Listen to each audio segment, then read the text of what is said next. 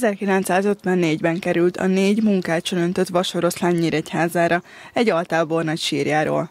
1970-ben a négy oroszlán különvált, kettő a Jós András Múzeum előtt kapott helyet, kettő pedig a Vásárosnaményi Múzeum előtt. A Nyíregyházán maradtak közül az egyiknek a kezdetektől fogva törött a jobb mancsa. Ezt javította ki most az első Nyíregyházi Lions Club. Először azt hittük, hogy ez könnyen fog menni, de aztán kiderült, hogy nem annyira egyszerű dolog ez, hiszen hát ez olyan mesteremberek kellenek, akik ezt meg tudják csinálni.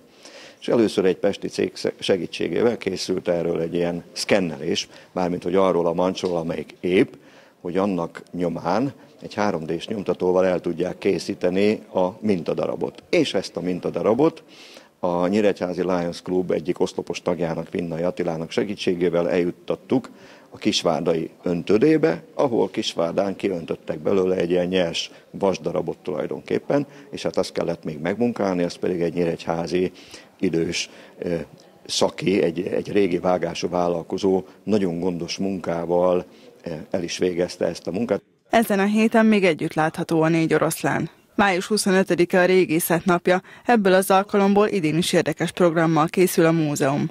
Lehetőség lesz korabeli harci eszközök kipróbálására hagyományőrzők segítségével, valamint egy régész vezetésével egy ásatáson is részt lehet majd venni pénteken.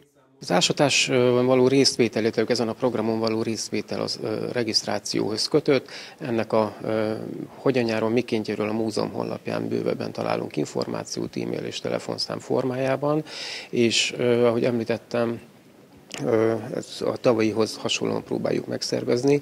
Így lehetőség lesz buszos kirándulás keretében, illetőleg biciklistúra keretében részt venni, illetve megérkezni a helyszínre, de nyilván egyénileg is meg lehet majd közelíteni a területet, de hogy ennek pontos helyszíne hol van, azt talán majd csak pénteken derül ki, amikor a regisztráció ellenében térképet magához veheti bárki, aki részt kíván majd venni az eseményen. A múzeum látogatóinak lehetőségük van támogatni az értelmi fogyatékkal élő embereket is.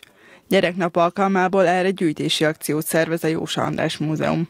Adományokat is gyűjtünk ö, ö, gyerekek számára, mégpedig a múzeum faluban lesz sérült értelmi fogyatékos gyerekek számára egy rendezvény, és a Józsa András Múzeum is akciót hirdetett, hogy bármi olyan használati tárgy, amiket ők szívesen tudnának használni.